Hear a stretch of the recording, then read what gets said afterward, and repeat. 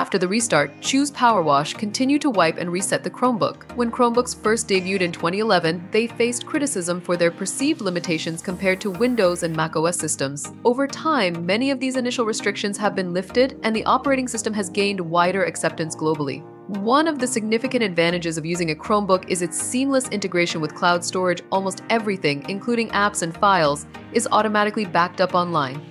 If you ever lose your Chromebook, simply signing in with your Google account on another Chromebook restores your settings and data. Additionally, resetting a Chromebook referred to as power washing is quick and straightforward, whether you're troubleshooting issues or preparing the device for someone else. Here's what you need to know about backing up and power washing your Chromebook. All your data is already synced to the cloud. However, if you use Google Docs, Sheets, or Slides offline, ensure you're online to save changes to the web. For browser data synchronization, open a Chrome tab, click the three dots at the top right, then select Settings. Choose You and Google, then Sync and Google Services. Click Manage what you sync to select items for online backup, such as bookmarks and passwords. For system-level data synchronization, click the Time and Date panel in the lower right corner. Select the gear icon to open ChromeOS settings. Go to Privacy and Security, then Sync and Google Services, and finally manage manage what you sync here, you can choose to sync apps and settings. To reset your Chromebook Power Wash, click the time and date in the bottom right corner. Open settings by clicking on the gear icon. Scroll down to System Preferences and select Power Wash. Click Reset and then restart to reboot the Chromebook. After rebooting, choose Power Wash and then continue to wipe and reset the Chromebook. These steps ensure your Chromebook remains efficient and your data is securely managed in the cloud. For detailed instructions, refer to the Gadget Insider article for your convenience.